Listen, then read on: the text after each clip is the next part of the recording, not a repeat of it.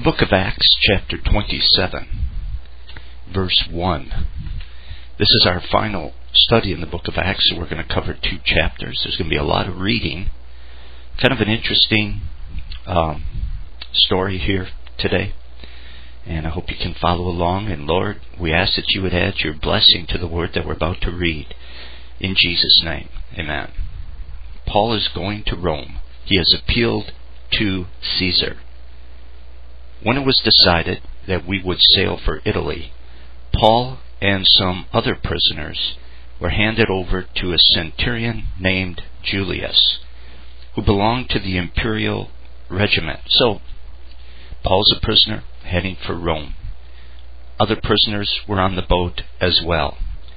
And I suppose many of those other prisoners were destined to become gladiators for the entertainment of the Romans and after that, no doubt, food for the lions. So it wasn't a very bright future for these prisoners. But at the same time, they're fortunate because Paul is there to tell them about the Savior. At least they'll have an opportunity to receive Christ. 2. We boarded a ship from Adramyttium, about to sail for ports along the coast of the province of Asia and we put out to sea. And Aristarchus, a Macedonian from Thessalonica, was with us. The next day we landed at Sidon, and Julius, in kindness to Paul, allowed him to go to his friends so that they might provide for his needs. From there, we put out to sea again and passed to the lee of Cyprus because the winds were against us. And so they sailed south of the island of Cyprus in order to avoid the north wind, which sometimes blew that time of the year.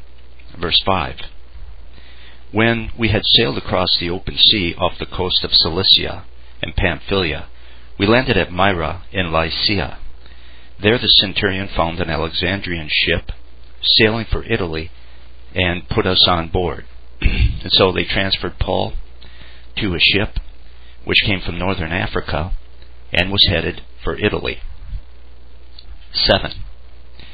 We made slow headway for many days and had difficulty arriving off Cnidus.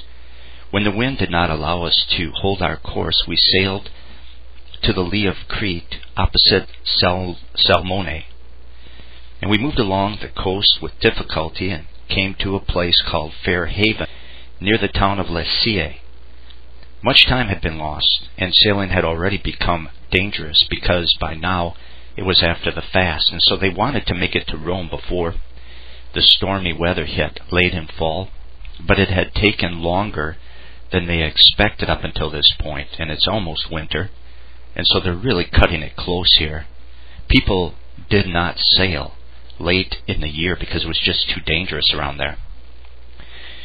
Last part of verse 9. So Paul warned them, Men, I can see that our voyage is going to be disastrous and bring great loss to ship and cargo, and to our own lives also. But the centurion, instead of listening to what Paul said, followed the advice of the pilot and the owner of the ship. Well, I don't blame the Roman soldier who was in charge.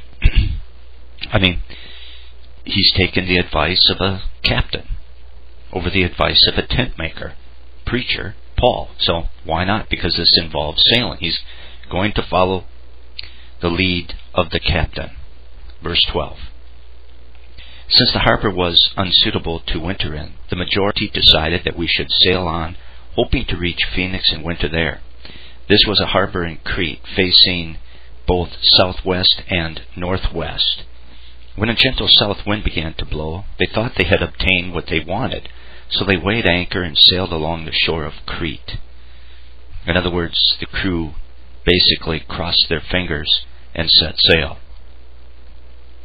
This late in the season, it was a real gamble.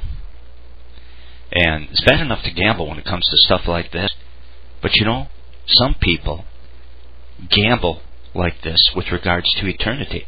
In essence, they cross their finger and fingers and hope for the best. And there's no need to do that when you have the revelation of God right in front of you. You can know truth, you can know what is right. Verse 14 Before very long, Before very long, a wind of hurricane force called the Northeaster swept down from the island. And so now their worst nightmare has indeed come to pass. A powerful northeast wind is blowing down from Europe. 15. Let's just listen carefully as I read. 15 through 20. The ship was caught by the storm and could not head into the wind, so we gave way to it and were driven along. As we passed to the lee of a small island called Cauda, we were hardly able to make the lifeboat secure. When the men had hoisted it aboard, they passed ropes under the ship itself to hold it together. Fearing that they would run aground on the sandbars of Syrtis, they lowered the sea anchor and let the ship be driven along. We took such a violent battering from the storm that the next day they began to throw the cargo overboard. On the third day they threw the ship's tackle overboard with their own hands. And when neither sun nor stars appeared for many days, and the storm continued raging, we finally gave up all hope of being saved. And so you can see they used all the experience they had. They used all the strength that they had. They did everything humanly possible, but they knew it wasn't enough. Finally, they admitted, that's it, it's all over, we are finished, there's no hope. That's a bad place to be when you're talking about being on a ship. It is a good place to be spiritually if you are a lost sinner. It is good to recognize that you are washed up, spiritually speaking. See, that's one reason God has given us His holy law. We read it, and if we are honest, we say, I'm dead. I'm in big trouble. I'm washed up. I don't stand a chance. I need a Savior. I need God's mercy. And with these guys, well, they were backed into a corner with nowhere to go. 21. After the men had gone a long time without food, Paul stood up before them and said, Men, you should have taken my advice, not to sail from Crete. Then you would have spared yourself this damage and loss. There's no need for Paul to say that. This is just sinful pride. That's all it is. He just could not resist saying, I told you so. I was right. Told you. It's not right to do that.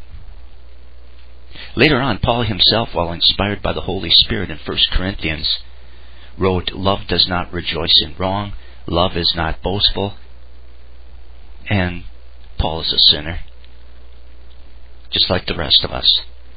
22. But now I urge you to keep up your courage, because not one of you will be lost, only the ship will be destroyed. Last night an angel of the God, whose I am, and whom I serve, stood beside me, and said, Do not be afraid, Paul.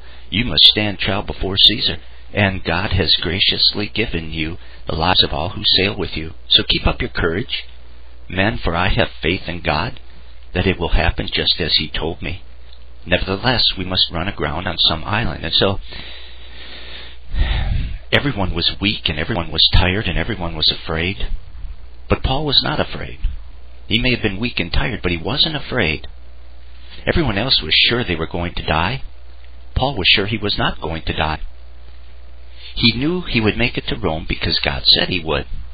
And not only that, God sent an angel to him and gave him another promise, or at least confirmed that first promise. And so Paul was trusting completely in the Word of God, and that's what gave him peace in the midst of this literal storm. 27. On the 14th night, we were still being driven across the Adriatic Sea. When about midnight the sailors sensed that they were approaching land. They took soundings and found that the water was a 120 feet deep. A short time later they took soundings again and found it was 90 feet deep. Fearing that we would be dashed against the rocks, they dropped four anchors from the stern and prayed for daylight. In an attempt to escape from the ship, the sailors let the lifeboat down into the sea, pretending they were going to lower some anchors from the bow.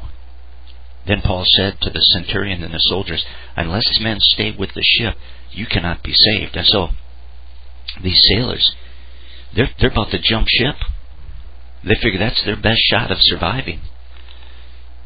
But But if those sailors follow their instincts and jump ship, they're going to die for sure, and so is everybody else. That's the word of God to them. They must obey God and hang in there with the boat, even when their instincts are telling them to do something else. It's sort of like Proverbs 14:12 that says there's a way that seems right to man, but the end thereof are the ways of death. See, we must always stay within the boundaries of God's word and not bail out. Even when our instincts tell us to bail out.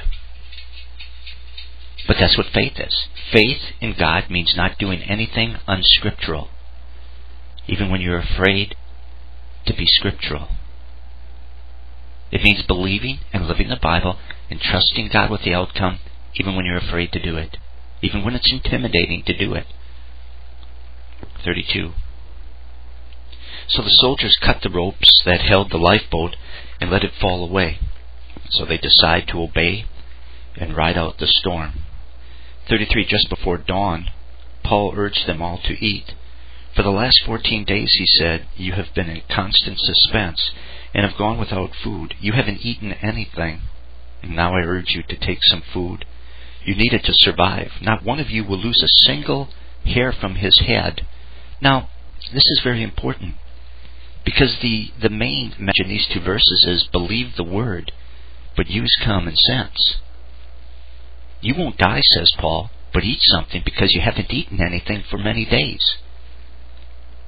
They need physical strength to survive as God said they would, but God's not going to just zap them with physical strength.